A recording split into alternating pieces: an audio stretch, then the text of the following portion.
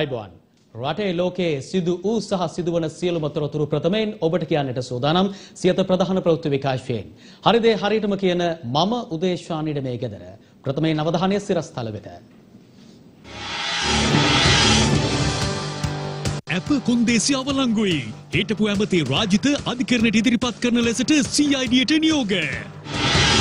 මෙරට සමස්ත කොවිට ආසාධිතීන් සංඛ්‍යාව අටසිය අනුව එක දක්වා ඉහළට. සියලු නිරෝධායන නීති අමතක වෙයි. කොන්දේසි සීමා පනී. සති කිහිපයකට පසු විවෘත කෙරුණු මත්පැන් අලවිසැල් පිරී ඉදිරියයි.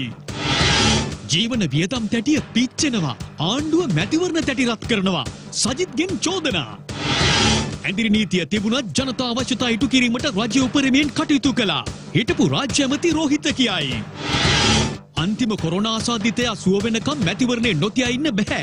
පැෆ්රල් කියයි. කෑමට රස දෙන ලුණු නිෂ්පාදකීන්ගේ අමිහිරි කතාව. සියත ප්‍රධාන ප්‍රවෘත්ති විකාශයෙන් ප්‍රථමයෙන් අවධානය දේශීය පුවත් වෙත.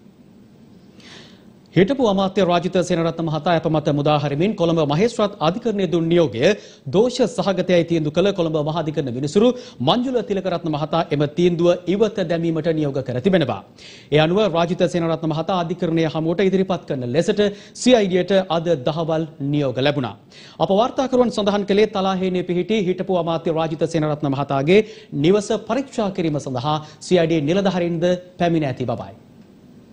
රාජිත සේනාරත්න මහතා අපමත මුදා හරිමින් නිකුත් දෙසැම්බර් මාස 30 වනදා කොළඹ ප්‍රධාන මහේස්ත්‍රාත්වරය විසින් ලබා දුන් නියෝගය කොළඹ මහාධිකරණ විනිසුරු මංජුල තිලකරත්න මහතා විසින් අද පෙරවරුවේ අවලංගු කළා. ඒ අනුව එම මහාධිකරණ නියෝගය අද දහවල් කොළඹ මහේස්ත්‍රාත් අධිකරණය හමුවට ඉදිරිපත් කරනු ලැබුවා. එය සලකා බැලූ කොළඹ ප්‍රධාන මහේස්ත්‍රාත් ලංකා ජයරත්න මෙනවිය විසින් සැකකාර රාජිත සේනාරත්න මහතා අධිකරණය හමුවට ඉදිරිපත් කිරීමට පියවර ගන්නා ලෙසයි රහස් පොලිසියට නියෝග කළේ. ආන්දෝලනාත්මක සුදුවෑන් මාධ්‍ය සාකච්ඡා සිද්ධිය සම්බන්ධයෙන් අත්අඩංගුවට ගන්නා ලද හිටපු අමාත්‍ය රාජිත සේනරත්න මහතා ඇප මත මුදා හරිමින් කොළඹ මහේස්ත්‍රාත් අධිකරණය දුන් නියෝගයේ දෝෂ සහගතයයි තීන්දුව කළ කොළඹ මහාධිකරණ විනිසුරු මංජුල තිලකරත්න මහතා එම තීන්දුව ඉවත දැමීමටද නියෝග කළා. ඉකුත් දෙසැම්බර් මාස 30 වනදා කොළඹ ලංකාරෝහලේ ප්‍රතිකාර ලබමින් සිටි රාජිත සේනරත්න මහතා ඇප මත මුදා හරිමින් කොළඹ ප්‍රධාන මහේස්ත්‍රාත්වරය විසින් ලබා දුන් නියෝගය අවලංගු කරන මෙන් ඉල්ලා නීතිපතිවරයා විසින් ඉදිරිපත් කළ ප්‍රතිශෝධන පෙත්සමක තීන්දුව දෙමින් විනිසුරුවරයා මෙම නියෝගය අද පෙරවරුවේ ලබා දුන්නා. තීන්දුව ප්‍රකාශයට පත් කරමින් විනිසුරු මංජුල තිලකරත්න මහතා විවෘත අධිකරණයේ සඳහන් කර සිටියේ රාජිත සේනරත්න මහතා අප මත මුදා හරිමින් කොළඹ ප්‍රධාන මහේස්ත්‍රාත්වරය විසින් ලබා දුන් තීන්දුව නීතිමය වශයෙන් මෙන්ම සිද්ධිමය වශයෙන්ද දෝෂ සහගත බවයි. මෙම සැකකරු අපමත මුදා හැරීමෙන් පසුව අධිකරණය මගහැර යාමට අවකාශයක් නොමැති බවට ඔහු අපමත මුදා හැරීමේදී ප්‍රධාන මහේස්ත්‍රාත්වරය විසින් පැමිණ තිබූ නිගමනය දෝෂ සහිත බවයි මහාධිකරණ විනිසුරුවරයා සඳහන් කළේ. එමෙන්ම මෙම සැකකරුට අප ප්‍රධානය කිරීමට පෙර ප්‍රධාන මහේස්ත්‍රාත්වරය විසින් ඔහු සම්බන්ධයෙන් කොළඹ ප්‍රධාන අධිකරණ වෛද්‍ය නිලධාරීවරයා ලබා ඔහුගේ සෞඛ්‍ය තත්ත්වය පිළිබඳව වාර්තාවක් කැඳවීමට අවකාශ තිබූ බව පෙන්වා දුන් මහාධිකරණ විනිසුරු මංජුල තිලකරත්න මහතා එහෙත් මහේස්ත්‍රාත්වරිය එසේ කටයුතු නොකිරීම ගැටලු සහගත බවයි සඳහන් කළේ. බන්ධනාගාර පනතට අනුව රාක්ෂිත බන්ධනාගාරගත කරනු ලබන සැකකරුවෙකු රෝගී වූ විට බන්ධනාගාර රෝහලේ හෝ බන්ධනාගාර රෝහලේ වෛද්‍යවරයා නිර්දේශ කරනු ලබන රජයේ පාලනය යටතේ ඇති රෝහලක පමණක් රඳවා තිබිය යුතු බව නීතිය සඳහන් වන බවද විනිසුරුවරයා පෙන්වා දුන්නා. ඒ අනුව සැකකාර රාජිත සේනරත්න මහතා රාක්ෂිත බන්ධනාගාරගත කිරීමෙන් පසුව පුද්ගලික රෝහලක ප්‍රතිකාර ලැබීම බන්ධනාගාර පනතේ 65 වන වගන්තිය යටතේ නීතියට පටහැනි ක්‍රියාවක් බවද විනිසුරුවරයා මෙහිදී අවධාරණය කළා. මේ පිළිබඳව මහේස්ත්‍රාත්වරිය අප නියෝග ප්‍රකාශයට පත් කිරීමේදී සිය අවධානය යොමු නොකිරීම දෝෂ සහිත බවද මහාධිකරණ විනිසුරුවරයා විවෘත අධිකරණයේදී අද ප්‍රකාශ කළා. නීතිය ඉදිරියේ සෑම පුද්ගලයෙකුම එක හා සමාන බවට ස්වර්ණමය සිද්ධාන්තයක් පවතින බවත් එක් පුද්ගලයෙකුට පමණක් පෞද්ගලික රෝහලක ප්‍රතිකාර ලබා ගැනීමට අවසර දීම තුළින් සෙසු සිරකරුවන්ටද එම අයිතිවාසිකම් භුක්ති විඳීමට තිබෙන අවකාශය අහිමි වන බවත් මහාධිකරණ විනිසුරු මංජුල තිලකරත්න මහතා සිය තීන්දුව ප්‍රකාශයට පත් කරමින් සඳහන් කළා. සමස්තයක් වශයෙන් ගත් කල මෙම අප නියෝගය ප්‍රකාශයට පත් කිරීමේදී මහේස්ත්‍රාත්වරිය විසින් ඊට අදාළ සිද්ධිය හා නීතිමය කරුණු කෙරෙහි අවධානය යොමු නොකිරීම දෝෂ සහිත තත්ත්වයක් බව පෙන්වා දුන් මහාධිකරණ විනිසුරු තිලකරත්න මහතා මෙම නියෝගය හරහා අධිකරණයේ මනස බරපතල ලෙස කම්පණය වන ආකාරයේ දෝෂයක් හටගෙන තිබෙන බවද සඳහන් කළා. ඒ අනුව රාජිත සේනාරත්න මහතා අපමත මුදා හරිමින් ඉකුත් දෙසැම්බර් මාස 30 වනදා කොළඹ ප්‍රධාන මහේස්ත්‍රාත්වරයා විසින් ප්‍රකාශයට පත් කිරීමට යෙදුණු අප නියෝගයේ ඉවත දමන බවට තීන්දුව කළ මහාධිකරණ විනිසුරු මංජුල තිලකරත්න මහතා ඉදිරි පියවර ගැනීම සඳහා මෙම නඩුව කොළඹ ප්‍රධාන මහේස්ත්‍රාත් අධිකරණයට යොමු කරන ලෙසටද නියෝග කළා. තීන්දුව ප්‍රකාශයට පත් කිරීමෙන් අනතුරු අධිකරණය හමුවේ කරුණු දැක්වූ රජයේ නියෝජ්‍ය සොලිසිටර් ජෙනරාල් දිලීප පීරිස් මහතා වර්තමානයේ රක්ෂිත බන්ධනාගාරගත කරනු ලබන සැකකරුවන් පෞද්ගලික රෝහල්වල ප්‍රතිකාර ගැනීම සම්බන්ධයෙන් සමාජය තුළ දැඩි විවේචනයක් පවතින බවත් ඒ සම්බන්ධයෙන් මෙම නඩු තීන්දුව තුළින් යහපත් මාර්ගෝපදේශයක් සැපීම සම්බන්ධයෙන් තමන් ස්තුතිවන්ත වන බවද සඳහන් කළා. මෙම නඩු තීන්දුව මගින් අප සම්බන්ධයෙන් දිවයින සියලු මහේස්ත්‍රාත්වරුන්ට මෙම නඩු තීන්දුව මගින් අප සම්බන්ධයෙන් දිවයින සියලු මහේස්ත්‍රාත්වරුන්ට හොඳ මාර්ගෝපදේශයක් සපයන නඩු තීන්දුවක් වනු ඇතැයිද රාජ්‍ය නියෝජ්‍ය සොලිසිටර් ජෙනරාල් දිලීප පීරිස් මහතා විවෘත අධිකරණයේ සඳහන් කර තිබුණා. දැන් අවධානය COVID-19 වෛරසයේ අලුත්ම තත්ත්වය පිළිබඳවයි. COVID-19 ආසාදෙන වූ සමස්ත රෝගීන් සංඛ්‍යාව 891 දක්වා ඉහළ ගොස් තිබෙනවා. ඒ අද පසුරේ තවත් ආසාදිතින් දෙදෙනෙකු හඳුනා ගැනීමත් සමගයි.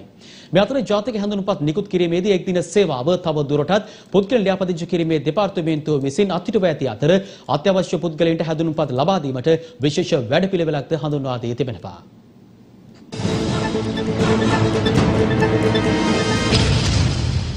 කොවිD-19 වෛරසය ආසාධනය වූ රෝගීන් විසි දෙනෙකු පිළිබඳව ඊයේ දින වාර්තා වුණා. අදාළ ආසාදිතින් අතුරින් දහ අට දෙනෙකු නාවික හමුදා සමාජිකින් වන අතර ඉදිරි ආසාදිතින් දෙදෙනාගෙන් එක් අයෙකු නාවික හමුදා සමාජිකයෙකුගේ සමීප තෙමෙකු වනවා. එසේම අනෙක් පුද්ගලයා ඩුබාහි සිට මෙරටට පැමිණ කන්දකාඩු නිරෝධන මධ්‍යස්ථානයේ රැඳී සිටින පුද්ගලයෙක්. මේ අතර අනුරාධපුර නාවික හමුදා නිරෝධන මධ්‍යස්ථානය තුළ නිරෝධන කටයුතු සාර්ථකව අවසන් කළ නාවික හමුදා පවුල්වල සමාජිකින් දා සිතෙනෙකු අද දින නිවෙස් පලා පිටව ගියා.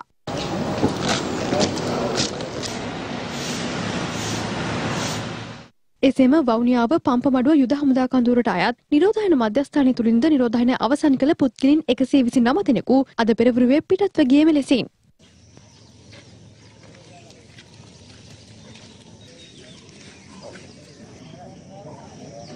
ඔබ මොකක්ද කියන්නේ? Hello sir, my master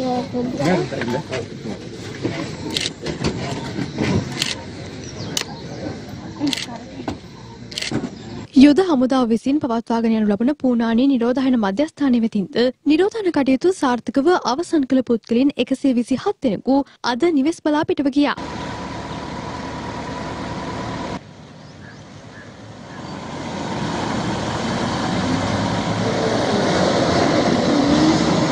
යුද හමුදාව විසින් පවත්වාගෙන යනු ලබන දම්මින්න නිරෝධහන මධ්‍යස්ථානයෙන්ද පුද්ගලින් හැට නම දෙනෙකු නිරෝධහන කටයුතු අවසන් කර අද පස්සරුවේ පිටව ගියා. මේ අතර කාත්තන්කුඩි මූලික රෝහලේ ප්‍රතිකාර ලැබූ කොරෝනා ආසාදිතින් හය දෙනෙකු පූර්ණ සුවය ලබා රෝහලින් පිටව ගිය බවයි අප වාර්තාකරු ප්‍රකාශ කළේ.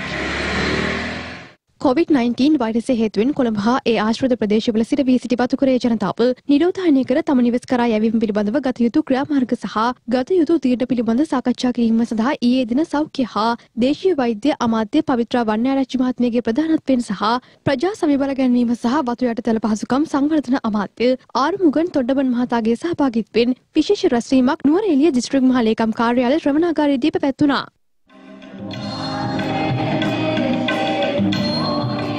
වැල්ලපාය සෞඛ්‍ය වෛද්‍ය නිලධාරී කාර්යාලයේ වෛද්‍යවරුන් ඇතුළු සෙසු කාර්ය මණ්ඩලය වෙනුවෙන් සංවිධානය කළ සංගීත ප්‍රසංගයක් ඊයේ පස්වරුවේදී වැල්ලපාය මහින්ද රාජපක්ෂ සම්මන්ත්‍රණ ශාලාවේදී පැවැත්වුණා.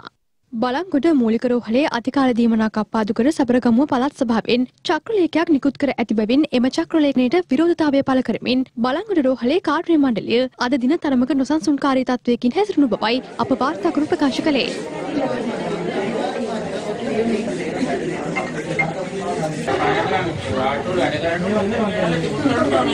මේ හේතුවෙන් ප්‍රතිකාර ලබා ගැනීම සඳහා පැමිණ සිටි රෝගීන් දැඩි අපහසුතාවයකට පත්ව තිබුණා.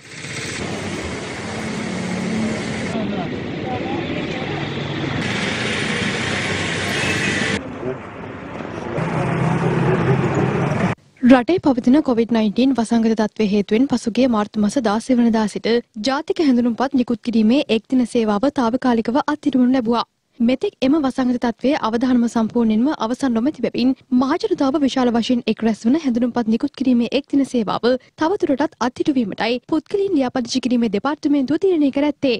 එහෙත් විභාග කටයුතු සම්මුඛ පරීක්ෂණ කටයුතු රියතුරු බලපත් ලබා ගැනීම විදෙස් ගමන් බලපත් ලබා ගැනීම යන ආදී අත්‍යවශ්‍ය කටයුතු හේතුවෙන් ජාතික හැඳුනුම්පත කඩිනමින් ලබා ගැනීමට අවශ්‍ය සේවාලාභීන් සඳහා හැඳුනුම්පත් නිකුත් කිරීමේ විශේෂ වැඩපිළිවෙලක් ප්‍රාදේශීය ලේකම් කාර්යාල හරහා මේ වන විටත් ක්‍රියාත්මක කිරීමට කටයුතු කර ඇති බවයි පුත්කලින් ලියාපදිංචි කිරීමේ දෙපාර්තමේන්තුව පවසන්නේ. ඒ අනුව එම ඉල්ලුම්කරුවන්ගේ අවශ්‍යතාවය ග්‍රාම නිලධාරී මගින් තහවුරු කර ඔවුන්ගේ ඉල්ලුම්පත් ප්‍රාදේශීය ලේකම් කාර්යාලයේ හැඳුනුම්පත් අංශයට යොමු කළ යුතුයි. එලෙස යොමු කරන ඉල්ලුම්පත් එම කාර්යාලයේ සේවයේ නියුතු නිලධාරීන් විසින් පුද්ගලින් ලියාපදිංචි කිරීමේ දත්ත පද්ධතියට ඇතුළත් කරන අතර ඊට අදාළ හැඳුනුම්පත් කඩිනමින් සකස් කර ලියාපදිංචි තැපෑලෙන් අදාළ ඉල්ලුම්කරුවන් වෙත යොමු කිරීමට කටයුතු යොදා තිබෙනවා. තවත මාර්තු මාස 16 වන දිනට පෙර එක් දින සේවය යටතේ හැඳුනුම්පත ලබා ගැනීම සඳහා ඉල්ලුම්පත් සූදානම් කරගත් සියලුම ඉල්ලුම්කරුවන්ද තම ඉල්ලුම්පත් තවදුරටත් තමා භාරයේ තබාගෙන නොසිට ප්‍රාදේශීය ලේකම් කාර්යාලයේ පිහිටි හැඳුනුම්පත් අංශයට එම ඉල්ලුම්පත යොමු කළ යුතු වනවා. මීට අමතරව සාමාන්‍ය සේවය යටතේ යොමු කරන ඉල්ලුම්පත් ග්‍රාම නිලධාරී මගින් දෙපාර්තමේන්තුව වෙත යොමු කළ හැකි අතර ඊට අදාළ ජාතික හැඳුනුම්පත්ද අවම කාලයක් තුළ කඩිනමින් නිකුත් කිරීමට අවශ්‍ය කටයුතු සැලසුම් කර ඇති බවයි පුද්ගලයන් ලියාපදිංචි කිරීමේ දෙපාර්තමේන්තුව පවසන්නේ. එමෙන්ම සෑම වසරකම මෙන්ම මෙම වසරේද මාර්තු මාස 31 වන දිනට පෙර අධ්‍යයන පොදු සහතික පත්‍ර සාමාන්‍ය පෙළ විභාගයට පෙනී සිටින පාසල් සිසුන්ගේ ඉල්ලුම්පත් යොමු කරන ලෙස දැනුම් දී තිබුණද මෙතෙක් එම ඉල්ලුම්පත් යොමු කර නොමැති සියලුම පාසල් එම ඉල්ලුම්පත් අදාළ ප්‍රාදේශීය ලේකම් කාර්යාලයට පළාත් කාර්යාලයට හෝ ප්‍රධාන කාර්යාලයට කඩිනමින් යොමු කළ යුතු වනවා.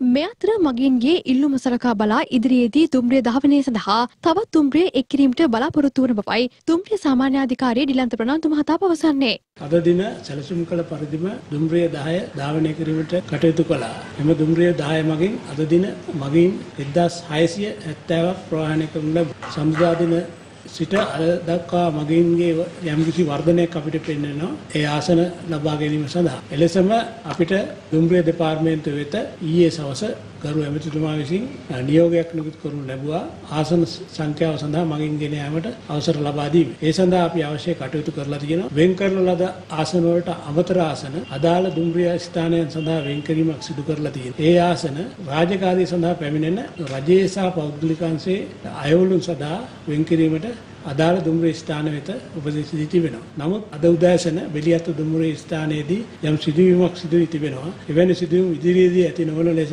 අදාළ දුම්රිය ස්ථාන සඳහා අවශ්‍ය උපදෙස් නිකුත් කර අවශ්‍ය කටයුතු කිරීම සිදු කරනු ලැබ තියෙනවා. දුම්රිය වැඩි කිරීමක් ඉදිරියේ සිදු වෙන හෙට අනිද්දාම දුම්රිය වැඩි කිරීමක් සිදු කරනු ලබන්නේ අව මගී අවශ්‍යතාවය අනුවයි. ඊළඟ සුමානය සඳහා මගින්ගේ ඉල්ලුම් ප්‍රමාණය සලකා බලා අවශ්‍ය ප්‍රමාණයට දුම්රිය දීමට අපි සැලසුම් කර තිබෙනවා.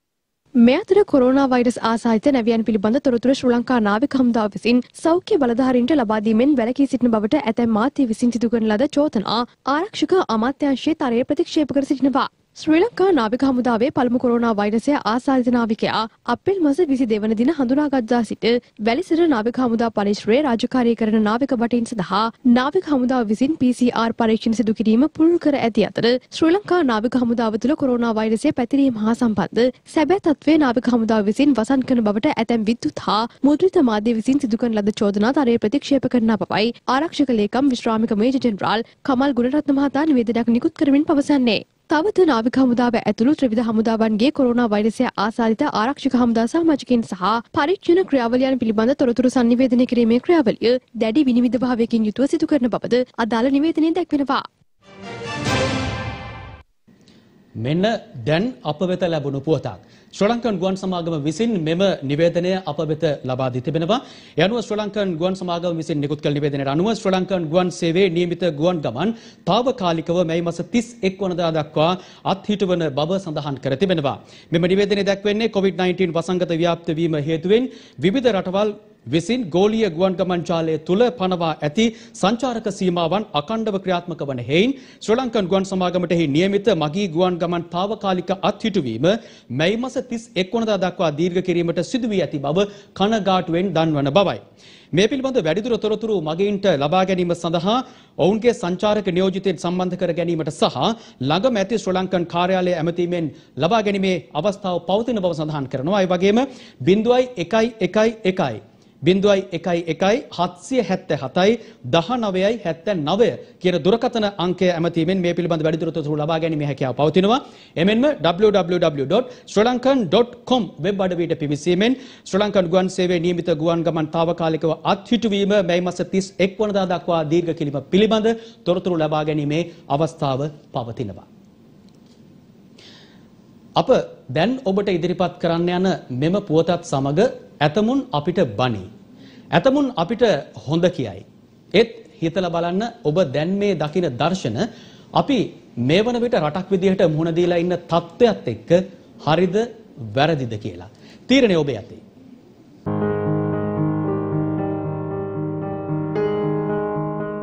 මේ ඔබ දකින්නේ ඉන්දියාවේ දර්ශන මේ ඉන්දියාව. මේ ඔබ දකින්නේ ලංකාවේ දර්ශන මේ ඉන්දියාව නෙවෙයි. හැබැයි මේ හැසිරීම් රටා දෙක දිහා බලනකොට නම් ලංකාව සහ ඉන්දියාව කියලා කියන්නේ වැඩි වෙනසක් නැති ආකාරයක් තමයි පෙනෙන්නට තිබෙන්නේ. දින ගණනාවකට සති ගණනාවකට පසුව අපේ රටේ අත්‍යවශ්‍ය භාණ්ඩයක් නොවනත් සුරාසැල් විවෘත කිරීමෙන් අනතුරුව පැවති අද දවසේ තත්ත්වයයි ඔබ මේ දකින්නේ.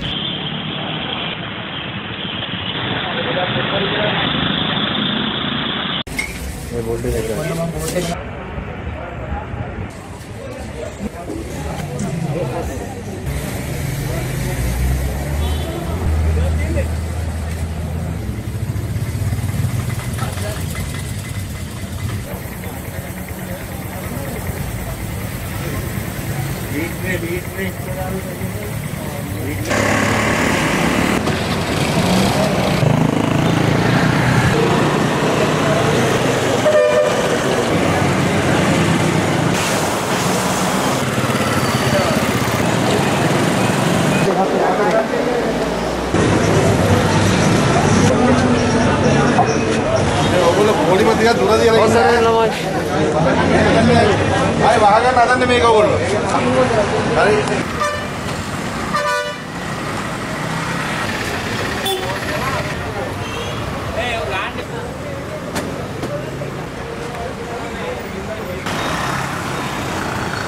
දැඩි කොන්දේසි මත සුරාසැල් විවෘත කිරීමට කටයුතු කර තිබුණත් මොන කොන්දේසිද මොන නිරෝධායන නීතිද සති ගානකට පස්සේ විවෘත කරපු මත් පැන් අලවිසැල දුටු සැනින් සියල්ල අමතක වූ මේ පිරිස කඩිමුඩියේ කොහොමරි ඇතුල් වෙන්න උත්සාහ කළේ සුරාසැලට.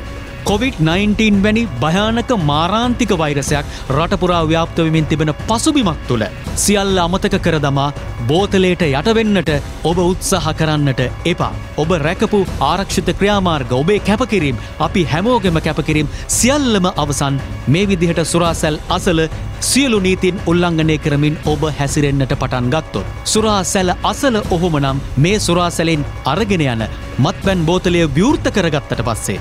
නිවාසවල ගම්වල නගරේ රටේ මොන වගේ තත්ත්වයක් ඇතිවෙයිද. ඇතමුන් පෙන්වා දෙනවා මේ ආකාරයට අනවශ්‍ය තදබදයක් කලබලයක් නිර්මාණය කරන්නේ. යළිත් සුරාසැල් වසා දැමීම සඳහා කිසියම් උත්තේජනයක් ලබාදීමට සහ ඒ තුළින් නීති විරෝධී මත්පැන් ජාවාරම තවත් සරුවට කරගෙන යන්නටය කියලා. කොහමුණත් මේ පිළිබඳ ඒ සම්බන්ධෙන් කටයුතු කරන බලධාරින් ස්වා බැලිය යුතුයි. නමුත් මත්පැන් බෝතලයට පෙර ඔබේ ඔබේ පවුලේ රටේ ආරක්ෂාව පිළිබඳවත් ඔබ සිතන්න. කොළඹ වීදියේ සුරහසැල් අසල පොදි කන මිනිසුන්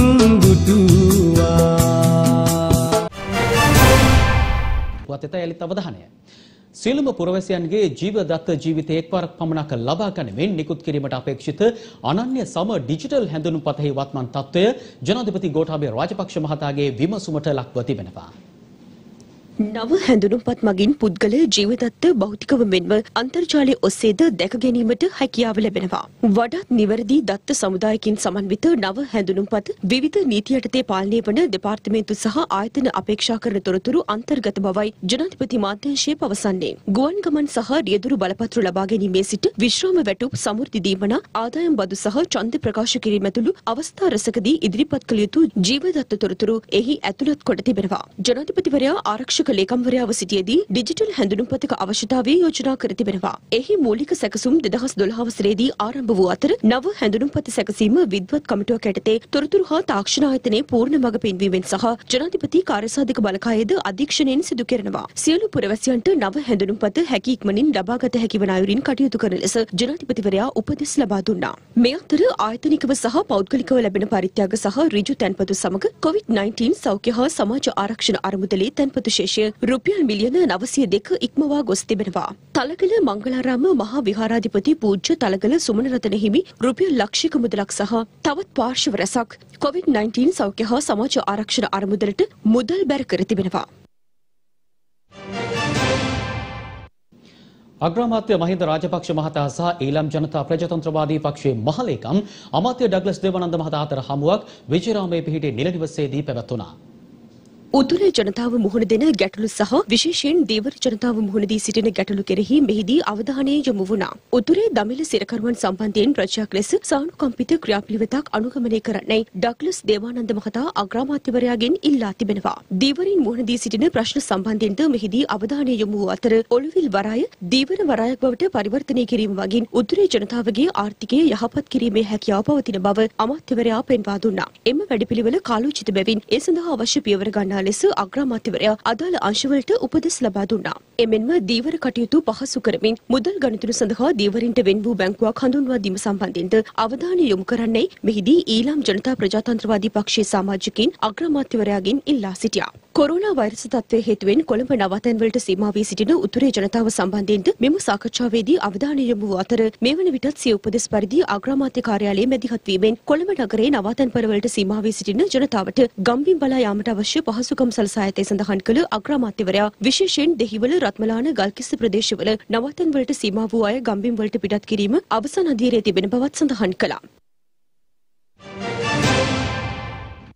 මැතිවරණය පැවැත්වීම පසෙක තබා ජනතා ගැටලුවලට විසඳුම් ලබා දීමට රජය කටයුතු කළ යුතු බව සමගි ජනබලවේගයේ නායක සජිත් ප්‍රේමදාස මහතා පවසනවා. එයද කොළඹදී පැවති මාධ්‍ය හමුවකදී. අද දේශපාලන කෑදරකම නිසා මැතිවරණ කඩිකුලප්පු නිසා රජයට පොදු ජනතාවගේ දුක අමතක වෙලා. අද මැතිවරණ පිළිබඳව කෙතරම් උනන්දුවක් දක්වනවද කිව්වොත් මැතිවරණය පවත්වලා ඡන්දපත්‍රිකා විසබීජානුහරණයට ලක් කිරීමට අවශ්‍ය උෂ්ණත්වයත් තැටිය රත් කරන්නට ඕන ප්‍රමාණයක් දැන් රජය හඳුනාගෙන. නමුත් රජයට තේරෙන්නේ නැද්ද ජනතාවගේ තැටිය හුඟක් රත් වෙලා තියෙන්නේ. ජීවත් වෙන්න බැරි තත්ත්වයක් තිබෙන්නේ. සැමන් පරිප්පු මිල පාලනය අද සම්පූර්ණයෙන්ම ඉවත් කරලා. මිනිස්සුන්ට රුපියල් 5000කින් ජීවත් වන්නට බෑ. හැබැයි ඇමතිවරුන්ට සැපවාහන ගෙන්නන්නට කෝටි ප්‍රකෝටි ගණන් මුදල් තිබෙනවා. අධිවේගී මාර්ග සඳහා රුපියල් බිලියන 31ක් වැය කරන්නට ආණ්ඩුවට සල්ලි තියෙනවා. මේ තත්ත්වය තුල මැතිවරණ වියදමත් දෙගුණයක් වෙනවා. හැබැයි ජනතාව ජීවත් කරවීම සඳහා පවුලකට දිය යුතු රුපියල් 20000 දෙන්නට රජයට සල්ලි නැහැ. දෙවෙනි වටේ 5000 නතර වෙලා තියෙන්නේ ඇයි? මැතිවරණය කල් ගිය නිසාද? මැතිවරණ දිනයක් තීන්දුව නොකරපු නිසාද? මැතිවරණය ජයග්‍රහණය කිරීම උදෙසා මේ දෙවෙනි 5000 කැරට්ටලේ තියාගෙන ඉන්නේ ජනතාව මුලා කරන්නටද?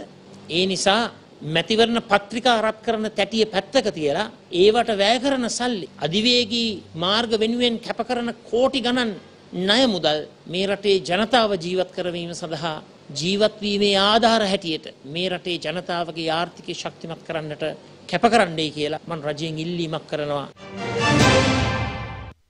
මැතිවරණය සඳහා තනියම තරඟ කරන පක්ෂ සමාජිකයන් සහ මැතිවරණ කොමිසම අතර හමුවක් අද පෙරවරුවේ මැතිවරණ කොමිෂන් සභාවේදී පැවැත්වුණා. මැතිවරණය සඳහා තනිව තරඟ කරන පක්ෂ සාමාජිකින් සහ මැතිවරණ කොමිෂන් සභාවේ සාමාජිකින් අතර සාකච්ඡාවක් අද පෙරවරුවේ මැතිවරණ කොමිෂන් සභාවේදී පැවැත්වුණා. සාකච්ඡාවෙන් අනතුරුව එම පක්ෂ නියෝජිතයින් මාධ්‍යට මෙලෙස අදහස් පළ කළා. මේ වෙනකොට COVID-19 තත්ත්වය තුළ මැතිවරණය කල්දැමීමට ලක් වෙලා තිබෙනවා. පාර්ලිමේන්තු මැතිවරණය මේ COVID සීරෝ තත්ත්වයක් දක්වා ළඟා වෙලා පවත්වන්නට පුළුවන් වෙයි කියලා අපි විශ්වාස කරන්නේ නැහැ. එනිසා රටේ අනිකුත් කාරණා සිදු කරන ආකාරයටම මැතිවරණයත් ඉදිරි කාලය තුළ පවත්වන්නට සිද්ධ වෙනවා. මට පේන විදියට අපි මේ தත්ත්වය තේරුම් ගන්න ඇත්ත වශයෙන්ම මාර්තු මාසෙදිම අපි තීරණයක් ගන්න තිබුණේ ඡන්දය අගෝස්තුවෙන් එහාට දාන්න. දැන් රටට වෙන්නේ මොකද්ද? රට ඉතාමත්ම අසීරු තත්ත්වයක තියෙන්නේ. අපි අපිට දැනට යා හැකි උපරිම දිශාවට අපි ඡන්දය කල් දාමු ඉස්සෙල්ලම. අපිට යන්න පුළුවන් සැප්තැම්බර් මාසේ මුල හරියට. අපි එතෙන්ට ගිහිල්ලා ඡන්ද මානසිකත්වයෙන් රට නිදහස් කරමු. නිදහස් කළ ඒ කාලෙට ජාතික වැඩපිළිවෙලකට යමු. සාකච්ඡාවේදී මැතිවරණ කොමිසම නිශ්චිත නිගමනයක් ප්‍රකාශයට පත් කරේ නෑ. අධිකරණයේ තීන්දුව එනතුරු මැතිවරණ දිනය සම්බන්ධ තීරණයක් ගන්න කල් දානවා කියලා කිව්වා. නමුත් දැනට කොමිසම ජුනි 20 තමයි දිනය නම් කරලා තියෙන්නේ. නමුත් ඊටාම් පැහැදිලි මැයි මාසේ 15 වෙනිදාවත් වෙද්දී මනාපාංක සහ ස්වාධීන කණ්ඩායම් වල සලකුණු ගැසට් කළේ නැත්නම් 20 ඡන්දේ තියන්න අමාරුයි. ඒ නිසා ජුනි 20 කියන දිනෙන් ඡන්දේ කල් යනවා කියන එක පේනවා. ජනතාව ආරක්ෂා කරගැනීමේ පරම පවිත්‍ර චේතනාවෙන් තමයි අපි හැම වෙලාවම කතා කරන්නේ. මොකද ජනතාව මේ වෙන විට ඡන්දයක් තිබ්බොත් අනිවාර්යෙන් 120ක්වත් මැතිවරණයට ඡන්දේ දාන්න එන්නේ නැහැ පෝලිං බූත් වලට පෝලිං තැන් වලට. මැතිවරණයක් පැවැත්වීමට සුදුසු වාතාවරණයක් රට තුළ නොමැති බව හිටපු පාර්ලිමේන්තු මන්ත්‍රී මුජිබුර් රහ්මාන් මහතා පවසනවා. එය අද කොළඹදී පැවති මාධ්‍ය හමුවකට එක්වෙමින්. කැබිනට් ඇමතිවරුන්ගේ පඩි තවම ගෙවනවා. ඊළඟට ඒගොල්ලන්ගේ දීමනාවල් තවම ගෙවනවා. ඒගොල්ලෝ තාම හොඳ බංගලාවල ජීවත් වෙනවා. නමුත් කියනවා පල්ලෙහා ඉන්න එදිනෙදා කීයක් හරි හොයාගෙන ජීවත් වෙන මිනිස්සුන්ට කියනවා උඹලා ගෙවල් ඇතුළට වෙලා හිටපල්ලා. මේකට රජයට උදව් කරපල්ලා. කියලා මේ රටේ ඉන්න ජනතාවව හිර කරලා ඒගොල්ලෝ විශාල සුරසැපක් විඳගෙන යනවා. අපි කියන්න ඕනේ ආණ්ඩුවේ ඉන්න මැති ඇමතිවරු ලහි ලහියේ මේ ඡන්දේ තියන්න උත්සාහ කරනවා. නමුත් ප්‍රශ්නේ තියෙන්නේ මේ රටේ තියෙන මේ සෞඛ්‍ය තත්ත්වයේ උඩ තන්දයකට යන්න පුළුවන් වාතාවරණයක් මේ රටේ ජනතාවට සහභාගී වෙන්න පුළුවන් වාතාවරණයක් තවම රට තුල නිර්මාණය වෙලා තියෙනවාද කියන ගැටලුව තමයි තියෙන්නේ. මැතිවරණයක් එහෙම නැත්නම් මේ නාම යෝජනා බාර දීලා තියෙන අවස්ථාවකත් අපි දැක්කා මැතිවරණ නීතිය අනුව රාජ්‍ය නිලධාරීන් මාරු කරන්න අස් කරන්න හැකියාවක් නැහැ. නමුත් අද මේ රජයේ නීතිය රටේ ගණන් ගන්න නැතුව මේ ගිය සතිය වෙනකොටත් අමාත්‍යංශ ලේකම්වරු ගණනාවක් අයින් කරලා තියෙනවා මාරු කරලා තියෙනවා. අපිට පේනවා එක පැත්තකින් රාජ්‍ය නිලධාරීන්ගෙන් පඩි කපා ගන්න අද චර්ජනයක් කරමින් කටයුතු කරන වගේම මේ මැතිවරණය සම්බන්ධයෙන් කතා කිරීම දෙක කල්යාමත් තුල අද පාර්ලිමේන්තුව වහගෙන මේ කොරෝනා වසංගතයට මුවා වෙමින් අද ප්‍රජාතන්ත්‍රවාදයේ මේ රටේ ජනතාවට අහිමි කරන තත්වයකට රජය කටයුතු කරනවා කියන එක පැහැදිලිව කියන්න ඕනේ. ඇඳරි නීතිය පැවති කාලය තුල ජනතාවගේ මූලික අවශ්‍යතා ඉටු කිරීමට වත්මන් ආණ්ඩුවට හැකි වූ බව හිටපු රාජ්‍ය අමාත්‍ය රෝහිත අබේගුණවර්ධන මහතා පවසනවා. අද කොළඹදී පැවති මාධ්‍ය හමුවකට එක්වමින් ඒ මහතා මේ බව පැවසුවා. මේ මාසේ 19 වෙනිදා වෙනකොට තමයි මාස දෙකක වගේ ආසන්න කාලයක් රට ඇඳරි නීතිය පනවල මේ රෝගය තුරන් කරගන්න කටයුතු කළේ. මේ මාස දෙක තුල රෝගීන් හඳුනාගෙන ඒ රෝගීන්ට ප්‍රතිකාර කිරීම රෝගීන් ඇසුරු කරපු යම් පිරිස් ඉන්නවා නම් ඒ ආවගෙන නිරෝධාන මධ්‍යස්ථානවල ගෙනියලා ඔවුන්ව රැකබලා ගැනීම ඒ වගේම රෝගය පැතිරෙන්නට ඉඩ නොදීම ඒ වගේම රටේ ජීවත් වෙන හැම කෙනෙකුටම මේ සම්බන්ධයෙන් තමන්ගේ රැකියාව අයිමි වෙලා නම් රුපියල් 5000 ගන්න එක මාසයක ගෙවලා අනිත් මාසයටත් මුදල් ටික ගෙවන්න. ඒක ඉටු කරන ගමන් විදුලිය sannivedana පහසුකම ඉන්ධන පහසුකම ඒ වගේම ජල පහසුකම මේ සියලු කාරණා ටික එක දවසකටවත් අපි අන හිටියේ නැහැ රජයක් ඇටියට සජිත් ප්‍රේමදාස මහත්තයා කියනවා ඡන්දයක් තියන්න ඕනේ නිදහස් සහ සාධාරණ මැතිවරණයක් කියලා. ඉතින් අපේ මැතිවරණ හදිස්සියක් නැහැ. අපේ ජනාධිපතිතුමා ඉන්නවා අපේ අගමැතිතුමා කැබිනට් මණ්ඩලයක් තියෙනවා අපේ ආණ්ඩුකාරවරු ඉන්නවා ඒ වගේම ප්‍රාදේශ සභා විශාල පිරිසක් අපේ පාලනයක් තියෙනවා ඒකම ජනතා විමුක්ති පෙරමුණ අද ප්‍රජාතන්ත්‍රවාදය ගැන කතා කරනවා. ප්‍රජාතන්ත්‍රවාදී අයිතියක් ඕන කෙනෙකුට ඡන්දේ දාන්න තියෙනවා. මේ ඡන්දේ මැතිවරණ කොමසාරිස්තුමා කියන ඕනම දිනයක අපි ඒකට ලෑස්ති. අවුරුද්දක්ද දෙකක්ද ඒ ප්‍රශ්නයක් නෑ අපට. අපිට මැතිවරණට වඩා මේ රටේ මිනිස්සු වටිනවා. සෞඛ්‍ය අමාත්‍යාංශයේ ලේකම් දුහරයට විශ්‍රාමික හමුදා නිලධාරියෙකු පත් කරනු ලැබුවේ මැතිවරණයට සුදුසු සෞඛ්‍ය වාර්තා ලබා ගැනීමට බව හිටපු පාර්ලිමේන්තු මන්ත්‍රී ලක්ෂ්මන් කිරියල්ල මහතා පවසනවා. එය අද මහනුවර ප්‍රදේශයේ පැවති මාධ්‍ය හමුවකදී. අපි දැක්ක රජය විසින් අමාත්‍යාංශ ලේකම්වරු ගණනාවක් පත් කරලා තියෙනවා. අපේ අවධානය යොමු වෙලා තියෙන විශේෂයෙන් සෞඛ්‍ය අමාත්‍යාංශයේ ලේකම් ධූරයට විශ්‍රාමික මේජර් ජෙනරල් වරයෙකු පත් කිරීම සම්බන්ධව. ඉතාමත් පැහැදිලි මේ විශ්‍රාමික හමුදා නිලධාරී මේජර් ජෙනරල්වරයෙකු පත් කරලා තියෙන්නේ ඉදිරි කාලයේදී රජයට අවශ්‍ය සෞඛ්‍ය වාර්තා ලබා ගන්න. සෑම රැස්වීමකම සෞඛ්‍ය නිලධාරීන් කිව්වේ කොවිඩ් වසංගතය යම්කිසි පාලනයකට යටත් කරලා තිබ්බට එහි අවදානම පහ වෙලා නැහැ කියලා. තාම ඇතිවරණයක් පවත්වන්න වාතාවරණයක් නැහැ. මොකද දුරස්ථභාවය ඇති නැති කෙරුවොත් දුරස්ථභාවය නැති කෙරුවොත් පැතිරීම ඉක්මන් වෙනවා. ඉතින් ඉදිරියේදී මැතිවරණ කොමසාරිස්වරයාත් නිලධාරී තමුණාම ආණ්ඩුවට අවශ්‍ය වාර්තා මේ ලේකම්වරයා හරහා ලබා දෙන්න පුළුවන්. ඔහු වාර්තාවක් ලබා දෙයි කොවිඩ් වසංගතය පහ වෙලා දැන් මැතිවරණේ තියන්න සුසු කාලයක. අද කොවිඩ් වසංගතයේ දෙවෙනි රැල්ලක් ආරම්භ වෙලා තියෙනවා. ඉතින් අපිත් අනවශ්‍ය විදියට ඉක්මන් කෙරුවොත් අපේ රටෙත් මේක සිද්ධ වෙන්න පුළුවන්. මේ වගේ අමාත්‍යාංශ ලේකම්වරු මේ නාම යෝජනා බාර දීපු අවස්ථාවක වෙනස් කිරීම නීතියටත් පටහැනි සාරධර්ම වලටත් පටහැනි. මැතිවරණ දෙපාර්තමේන්තුව මේ සම්බන්ධයෙන් පියවරක් ගත යුතුයි කියලා මම විශ්වාස කරනවා. මෙරට ජනතාව මැතිවරණයක් අපේක්ෂා කරන බැවින් එය නිසි වේලාවට පැවැත්විය යුතු බව හිටපු පාර්ලිමේන්තු මන්ත්‍රී පියන් නිශාන්ත මහතා පවසනවා. ඒ පානදුර ප්‍රදේශයේදී මාධ්‍ය අමතමේ. විශේෂයෙන්ම එක්සත් ජාතික පක්ෂයේ ප්‍රමුඛ විපක්ෂයේ හිටපු මන්ත්‍රීවරු සීලු දෙනාම ජැන්ඩියට ඇඳගෙන ඇවිල්ලා මැතිවරණ ප්‍රජාතන්ත්‍රවාදය පිළිබඳව කතා කරන්න උත්සාහ ගන්නවා කොරෝනා සිද්ධියත් සම්බන්ධ කරගෙන. අද වෙනකොට මං හිතන්නේ මේ මැතිවරණ ප්‍රජාතන්ත්‍රවාදයේ රටත් ජනතාවත් ඉල්ලන අවස්ථාවකදී තමයි මැතිවරණ කොමසාරිස්වරයා මැතිවරණය දෙන්න සූදානම් වෙන්නේ. එවැනි අවස්ථාවකදී එක්සත් ජාතික පක්ෂයේ සහ සජිත් පිල සහ අනිකුත් සියලු විපක්ෂයේ ඉන්න උදවිය මැතිවරණ එපා කියලා තමයි කල් දාන්න කියන එක තමයි මේ අය කියන්නේ. මොකද හේතුව අද වෙනකොට එක්සත් ජාතික පක්ෂය දෙකට කැඩිලා බෙදිලා වෙන් වෙලා තියෙන්නේ. ඒ නිසා අපි විශේෂයෙන්ම කියනවා ලෝකේ කොරියාව වගේ රටවල් ඉතාමත්ම භයානක තත්ත්වයේ කොරෝනා රෝගයේ තියෙද්දිත් මැතිවරණය පැවැත්තුවා. එනිසා අද වෙනකොට මේ රටේ ජනතාව පැහැදිලිවම මැතිවරණ ප්‍රජාතන්ත්‍රවාදය ඉල්ලනවා. ඒ නිසා කලට වේලාවට මැතිවරණය තියන්න කියලා ජනතාව ඉල්ලනවා නම් මේ මැතිවරණය ලබා දෙන්න ඕනේ. රට තුළ වර්තමානයේ පවතින තත්ත්වය හමුවේ මැතිවරණයක් පැවැත්වීම තුළින් ප්‍රජාතන්ත්‍රවාදයට බලපෑමක් සිදුවිය හැකි බව ජනතා විමුක්ති පෙරමුණු හිටපු පාර්ලිමේන්තු මන්ත්‍රී බිමල් රත්නායක මහතා පවසනවා. ඒ සියත 7.5 වැඩසටහනට අදුදැස්සන එක්වෙමි. මෙවැනි අර ෂොක් එකක් ආපු වෙලාව මෙවැනි තද තනි සිද්ධියකට මුළු රටක මානසිකත්වයේ ගොනු වෙලා තියෙන වෙලාවක ජාතික මැතිවරණයක් පැවැත්වීමෙන් වෙන්නේ සම්පූර්ණ මහජන සාකච්ඡාව එක කරුණකට උනනේ වෙන්නේ. දැන් හොඳම උදාහරණ දකුණු කොරියාවේ මැතිවරණය. දකුණු කොරියාව අපිට වඩා තාක්ෂණය අතින් විවිධ කරුණු වලින් ඉදිරිය වෙන්න පුළුවන්. නමුත් ඔවුන් අප්‍රේල් 15 මැතිවරණේ තිබ්බා. හැබැයි තිබ්බට පස්සේ ඡන්දය තනිකරම 99.9%ක්ම තීරණය වුණේ කොවිඩ් වසංගතය මැඩ පැවැත්වුවද නැද්ද? අවසානයේ දැන් දකුණු කොරියාව විශාල විරකියාවක් තිබෙනවා. විශාල දුප්පත්කමක් තිබෙනවා සැඟවිච්ච සියොල් වලට යටින් තිබෙන. ඊට පස්සේ දකුණු කොරියාවේ විශාල සිවිදිනසා ගැනීමේ පැත්තක් තිබෙනවා. ඉතින් ඒතර එවැනි කරුණු කතා කරන්න උනේ නැහැ කියලා. ඉතින් නිසා මම හිතන්නේ අපේ රටේ ගත්තත් හදිසියේ මැතිවරණයක් පවත්වීම සෞඛ්‍ය විද්‍යාත්මකව පුළුවන් වුණා. මැතිවරණ අවශ්‍යයි පවත්වන්න වෙනවා. නමුත් ඒකෙන් අර ප්‍රජාතන්ත්‍රවාදයට මම හිතන්නේ බරපතල අඩුපාඩුවක් ජනතාවට සිද්ධ වෙයි. මොකෝ මෙවැනි වෙලාවක මැතිවරණයක් හදිසියේ පැවැත්වීමෙන් ජනතාව එක කරුණකට උනන වෙලා ඡන්ද දෙන්න හෝ නොදෙන්න තීන්දුව කරන්න පුළුවන්. එක්සත් ජාතික පක්ෂය ප්‍රජාතන්ත්‍රවාදයට ගරු කරන පක්ෂයක් නම් මැතිවරණය පැවැත්වීමට සහ කොවිඩ් මර්ධනයට රජයට සහාය පළ කළ යුතු බව හිටපු පාර්ලිමේන්තු මන්ත්‍රී චන්දිබ වීරකොඩි මහතා පවසනවා.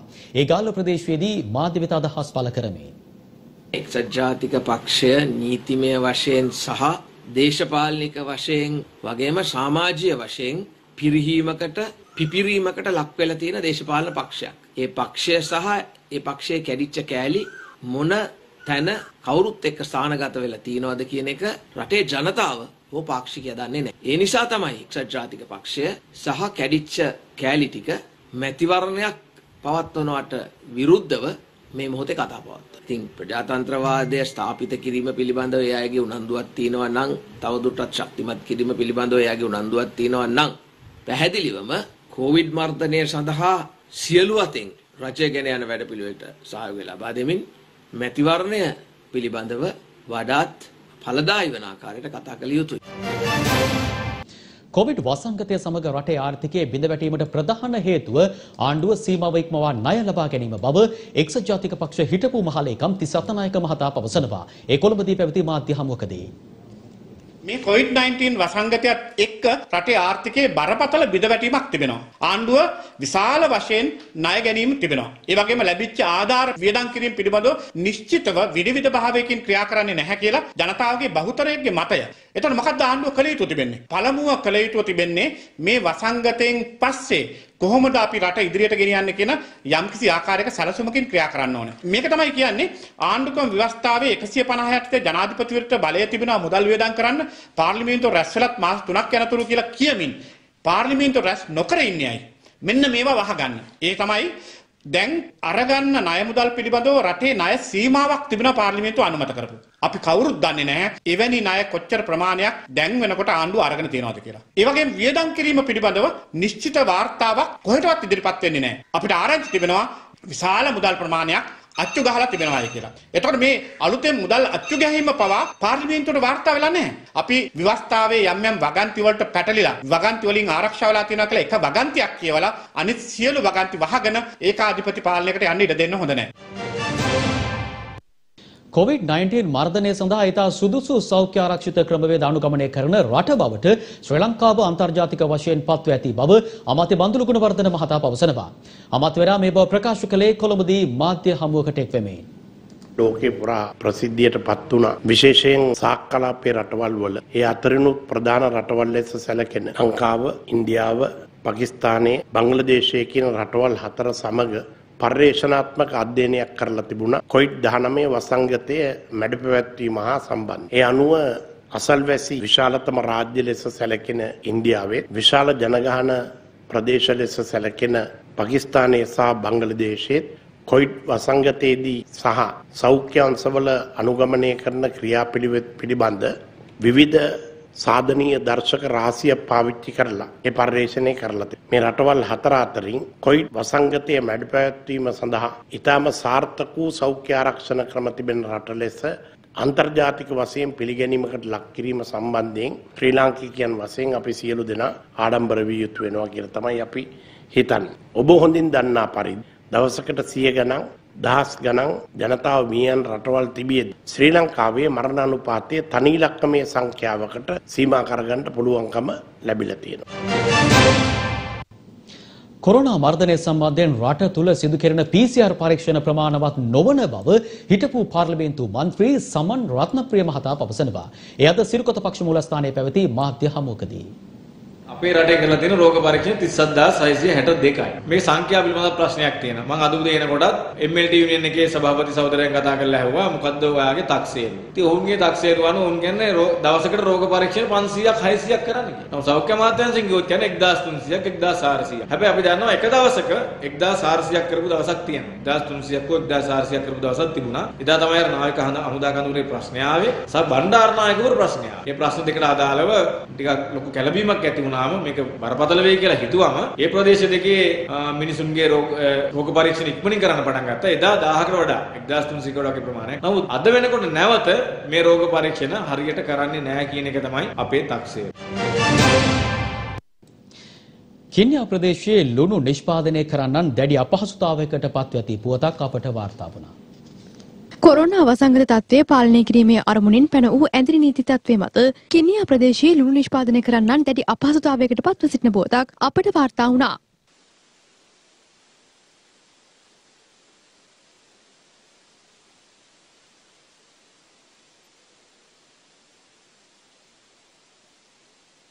කින්යා කාකමුණේ හා ඒ අවට ගම්මානවල වෙසෙන පවුල් තුන්සියකගේ පමණ ප්‍රධාන ආදායම් මාර්ගය වන්නේ කලපුව ආශ්‍රිත ලුණු නිෂ්පාදනයයි.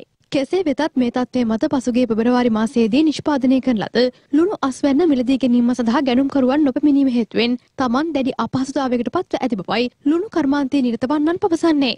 ඒ හේතුවෙන් ලුණු කර්මාන්තයේ නිරත පිරිස් රජයෙන් ඉල්ලා සිටින්නේ මේ සම්බන්ධයෙන් අවධානය යොමු කරමින් සහනයක් ලබා දීමට කටයුතු කරන ලෙසයි. දැන් රටවටා පුවත් කිහිපයක් කෙටියෙන්.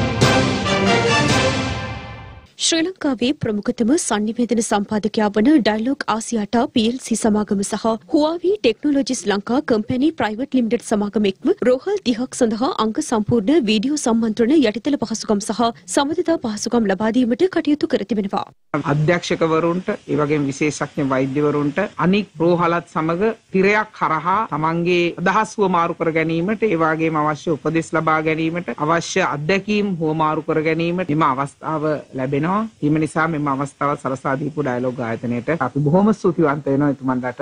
හුවාවේ සමාගම මේ සම්බන්ධයෙන් අදාළ උපකරණ සියල්ල අපට ලබා දුන්නා. එක විශාල පරිත්‍යාගයක්. හුවාවේ සමාගමට අපි බොහොම ස්තුතිවන්ත වෙනවා මේ අවස්ථාවේදී. අනුරාධපුර නුවරවැව ජල පවිත්‍රාගාරයේ අත්‍යවශ්‍ය නඩත්තු කටයුත්තක් හේතුවෙන් අද රාත්‍රී 9 සිට හෙට රාත්‍රී 9 දක්වා පැය 24ක කාලයක් ජල සැපයුම අත්හිටුවන බව ජාතික ජල සම්පාදන හා ජලාපවාහන මණ්ඩලය නිවේදනයක් නිකුත් කරමින් පවසනවා. ඒ අනුව අනුරාධපුර නගරේ යාපනීය හන්දිය කුරුන්දන් කුලම සාලියපුර රඹෑව ගල්කුලම සහ මිහින්තල යන ප්‍රදේශවලට මෙලෙස ජල සැපයුම අත්හිටුවනු ඇති. කොළඹ සිට යාපනය දක්වා පොහොර ප්‍රවාහනය කළ ලොරි රථයක් මාර්ගය නිවතට පැන පෙරලී යමින් අනතුරක් සිදුව තිබෙනවා. අනතුරින් රථයේ රියදුරු තුවල් ලබා මැදවච්චේ රෝහලට ඇතුළත් කර ඇති බවයි අප වාර්තාකරු සඳහන් කළේ. නීති විරෝධී ලෙස එරාවුර් ප්‍රදේශයට තේක කඳන් තොගයක් ප්‍රවාහනය කරමින් සිටි සැකකරුවන් දෙදෙනෙක් මඩකලපුව කලාප වන නිලධාරීන් විසින් සිය බහරයට ගෙන තිබෙනවා. කෝපිකුඩු ප්‍රවාහනය කරන මුවාවෙන් අකුරණ සිට අනුරාධපුර දක්වා මත්කුඩු විශේෂයක් ප්‍රවාහනය කිරීමේ මහා පරිමාණ ජාවාරමක නිරත වූ පුද්ගලෙක් තිරප්පුණේ පොලිසිය සහ යුද හමුදා නිලධාරීන් එක්ව අත්අඩංගුවට ගෙන තිබෙනවා.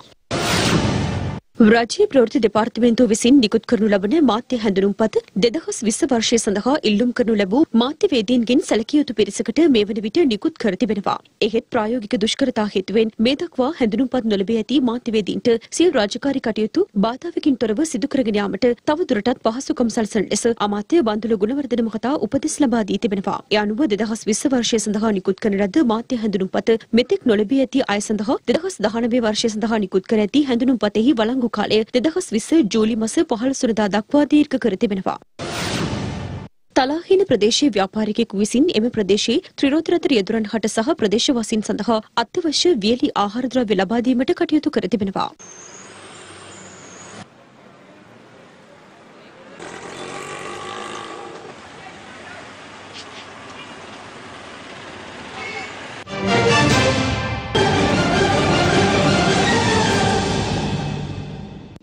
මෙන්න දැන් ලැබුණු පුවතක්. හිටපු සෞඛ්‍ය අමාත්‍ය රාජිත සේනාරත්න මහතා CID නිලධාරීන්ට බහරවීමෙන් පසු අත්අඩංගුවට ගෙන තිබෙනවා. ඒ අනුව අත්අඩංගුවට ගනු ලැබූ හිටපු අමාත්‍ය රාජිත සේනාරත්න මහතා අධිකරණ ඉදිරිපත් කිරීමට නියමිතව තිබෙනවා. අධිකරණය විසින් අද පස්වරුවේ දැනුම් දී තිබුණේ හිටපු අමාත්‍ය රාජිත සේනාරත්න මහතා අධිකරණය වෙත ඉදිරිපත් කරන ලෙසටයි එය CID නිලධාරීන්ට උපදෙස් ලබා දී තිබුණා. ඒ අනුව CID නිලධාරීන් තලාහේනේ පිහිටි නිවස පරීක්ෂා කිරීම සඳහාද අද පස්වරුවේ පැමිණ සිටියා. මේ අතරතුර හිටපු අමාත්‍ය රාජිත සේනාරත්න මහතා CID නිලධාරීන්ට බහර වී තිබෙනවා. ඒ අනුව අත්අඩංගුවටගෙන ඇති රාජිත සේනාරත්න මහතා අධිකරණයට ඉදිරිපත් කිරීමට නියමිත බව පොලිස් මාධ්‍ය ප්‍රකාශක වරයා අපට තහවුරු කළා. මේ පොත පිළිබඳ වැඩිදුර තොරතුරු අප සූදානම් අපගේ රාත්‍රී 9:35 ප්‍රවෘත්ති විකාශයෙන් ඔබ වෙත ගෙන එන්නට.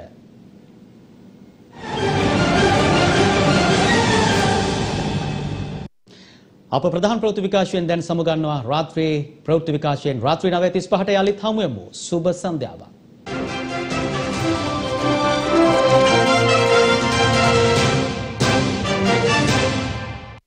දෙනපතා අලුත් වීඩියෝ සහ ප්‍රවෘත්ති නැරඹීමට ඉහත බටන එක ක්ලික් කර සියත TV සබස්ක්‍රයිබ් කරන්න.